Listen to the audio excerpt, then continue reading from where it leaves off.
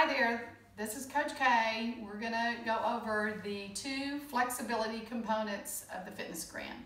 The first one is sit and reach, legs straight, toes up, and you just reach as far as you can and hold it for 10 seconds.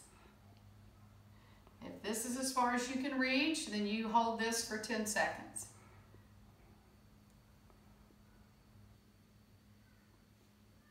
And the other component is the arm flexibility. On the arm flexibility, you can do it seated or you can do it standing up.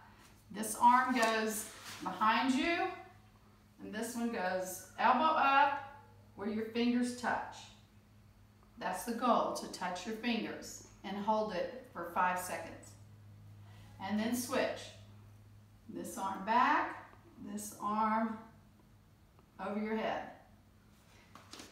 If you need to change it up, you could do either one of those while seated for a modification. You could sit and do the arm stretch flexibility, or you could do the sit and reach. Those are both the flexibility components of the FitnessGram.